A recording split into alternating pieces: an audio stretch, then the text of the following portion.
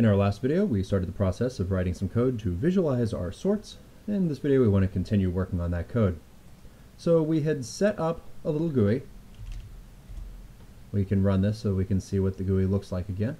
And we had written this method called render values, which should draw to a graphics context the, it'll draw lines for every one of the values that we're sorting, and it will draw a single line that's kind of an indicator in there.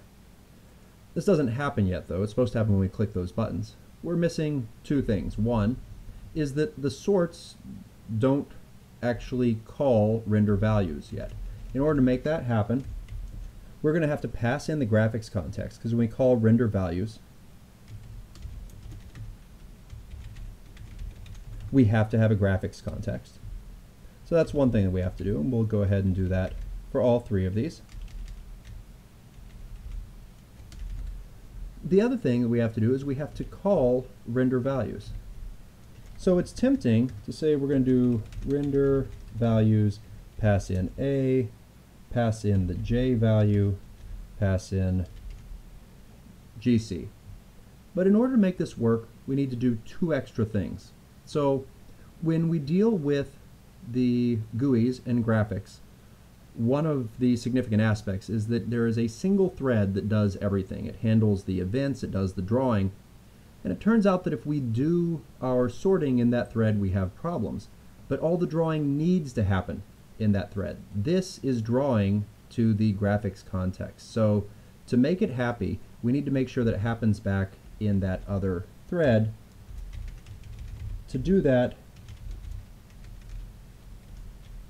we're going to put in a call to platform.runLater. So platform happens to be in the ScalaFX application package. And it has a method called runLater, which you give it code, and it happens the next time that the uh, that the ScalaFX processing has time to do it. The other thing that we need to do is make it so that our sort doesn't fly too fast. So we need to slow it down a little bit. And we're just going to call thread.sleep for that. That just makes it so that the current processing is going to pause for a little bit. We pass it a time in milliseconds. Now once again, I don't want to have a bunch of magic numbers in here. I'd like to be able to change this easily. So we're going to declare another constant called delay. And I'm going to set delay to be 5 to start with. We'll see how well that works. So then these two lines should go in our other sorts, and they need to go inside of the innermost loop to, whoop, I actually put these two inside, not just inside the inner loop, but inside the if. We don't want them there. We actually want them inside just the inner loop for the min sort and also for the insertion sort. Okay. So now these sorts will render if we actually call them. So the last thing we have to do is make it so that these buttons will actually call the sorts. This shouldn't be too hard to do. We can make bubble button on action equal an action event. And what's supposed to happen in this action event? Well, I want to call bubble sort. Here again, it's tempting to just say I will do a bubble sort. There are two B's in that. Of our first argument is an array, so I could do array dot fill of num numbers and math dot random to give us random values between 0 and 1.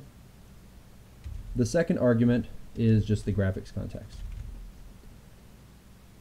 The problem here is remember that everything that happens inside of this block of code is going to be happening inside of the main processing for Scala FX, which means that our graphical interface will become unresponsive as long as this is running and that also means it won't be able to draw any of the things that we're trying to draw.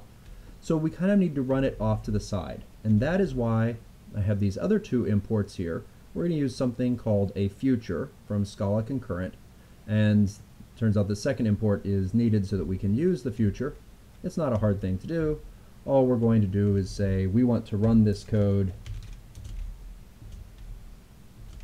inside of a future. Simple enough. Copy three lines, paste it twice.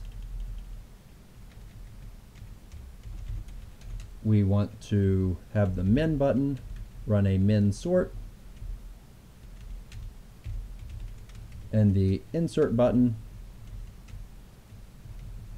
run the insertion sort. Okay.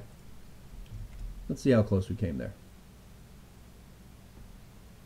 Seems to be happy. If we click bubble, you can see a bubble sort working here. So each time through, basically it winds up picking up large elements and pushing them back. I think that in some ways the bubble sort gets its name from what happens with the small elements. If you watch these longer lines here, they slowly move forward. They're kind of bubbling up through here. And we wind up building up this set of sorted values at the end. These are the largest values because as we talked about, the bubble sort winds up putting the largest value at the end on the first pass, the second largest on the second pass, and it repeats that way. The bubble sort's not all that fast, but you'll notice that as it goes, it has less work to do because this doesn't get pushed quite as far back. The small values are still moving. It's really this one right here that's going to take a long time to walk all the way up to where it belongs inside of this distribution. And we could sit here and watch this. We could theoretically set the delay shorter so that we could kind of see it happen faster, but I'm going to go ahead and stop it so that we can look at a selection sort. Turns out that if I click one of these other buttons, it'll run, but then the two will be competing for their for the display which is definitely not what we want to have happen. So let's run it again, and let's see what a selection sort does. Now, selection sort in some ways is interesting. See that red line is moving across there and nothing changes. And every time it hits the end, one new element gets swapped up here to the front. So whatever the lowest line is disappears and it's swapped to the front. As with the bubble sort, this is kind of getting a bit faster every time and that it has fewer things to run through as it goes.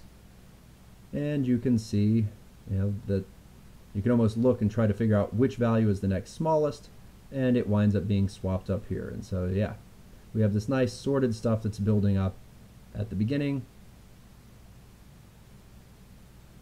That's how the selection sort works. There's not a whole lot of swapping. Most, if, if we didn't have this red line in here, this would be very boring to watch because you wouldn't see anything happening as it's going through looking for the minimum. Okay, that's selection sort. What about insertion sort? We run insertion sort. Insertion sort actually starts off, it looks like it's running remarkably fast because it's building up this sorted array here at the beginning and it's only working on these values you can watch the red line. One thing to note about it is it doesn't always move back to the beginning. And of course, that's the strength of insertion sort. It doesn't have to push everything all the way forward. It only pushes things as far up as they need to go. Once it gets to this line that comes way down here, that will actually, almost there, that will actually have to push all the way forward.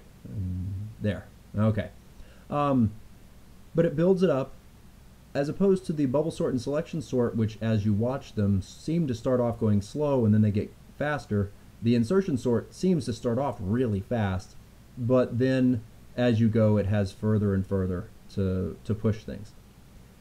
Now this application doesn't give you the ability to compare these. It wouldn't be hard to change our program here so we had a single button that would run all three sorts and have the have kind of three different canvases that were the we render to separately. It wouldn't actually be very hard to write that code. And then you could kind of see, get a speed comparison of them. And what you'd see is that insertion sort on this random data should finish in about half the time of the other two sorts.